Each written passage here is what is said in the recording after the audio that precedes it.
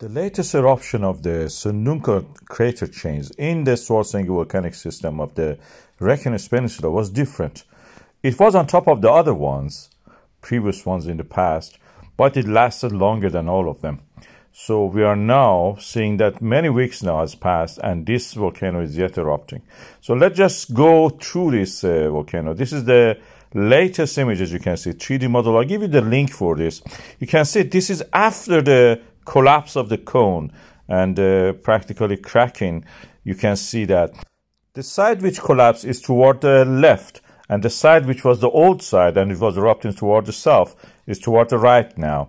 And this is the main crater which is not survived. This is K1. This is the name I've given to it. K1 is the only vent which is erupting. It's practically becoming something like the Litli-Hrútur or the Fagradalsfjall volcano. It's growing bigger. If you have collapses, it had a lot and is now having more, and this collapse is creating platform inside it, which makes the blockage. The area it's covering is mostly on top of the previous eruptions. You can see the Svartsengi on the uh, left side and Blue Lagoon to the left. Uh, I show you here the wall, defensive walls around it.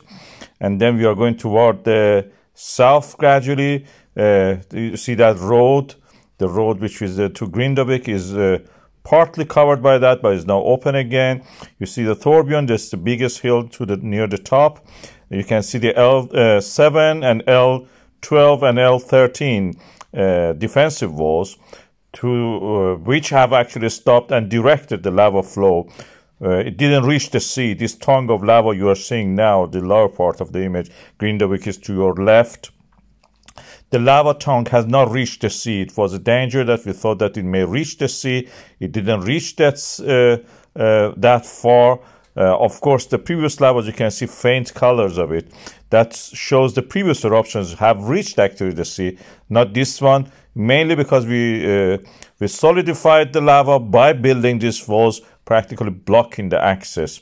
And uh, the, pre, uh, the uh, consecutive lava flows which come in that direction cannot pass this barrier of their own solid lava from the a few hours or days before that. So the lava flowed through uh, back toward the Melhóll, which I show you in a few seconds. You can see that Melhóll. This is the piling up of the lava. Near the right side, you see I'm gradually trying to bring it to the center. This is an interactive 3D map you can see here.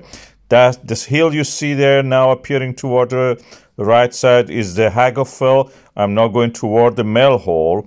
Hagafell is to right again. Melhóll was filled with by this lava flow, which couldn't go any further toward the sea. And it uh, 1 million cubic meters, or a little bit more even now. Uh, it was a low topographic uh, feature. Now it is a high topographic feature filled up with the basaltic lava. You can see the Thorbjorn Hill where most of the cameras are located. You can see Svartsengi and the Blue Lagoon on top of the image.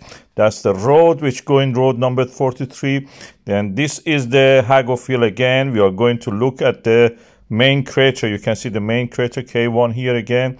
The smoke is rising from there. The wind direction at this time was toward the south and all the previous eruptions you can see this is the again we are looking at the uh, this is uh, Thor uh, sorry Hagafell uh, we are gradually moving again toward the main crater.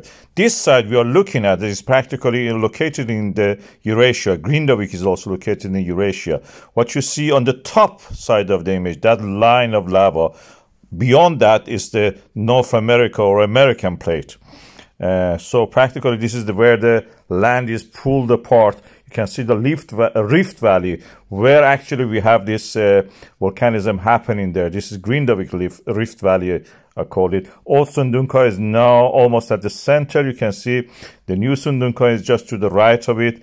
These are the craters. That's the crater K1. You can see it's red, is uh, glowing with the uh, light of the lava which is erupting there. There's a cauldron there. You can actually play with this and just go for the HD version of these maps. It increases the resolution and uh, you, you can do a lot of things. You can even watch in 3D if you you know adjust it for your uh, if you have a 3D viewer, a virtual reality one, you can use that. This cone is now growing becoming something significant, gradually significant in the scale of this eruption, of course. In the world the scale of eruption, this is just a small one. This is what happens all the time in the bottom of the ocean and the mid-oceanic regions. Now we have it in the land visible to us. We are lucky in that sense. Is growing, gradually building something like a shield.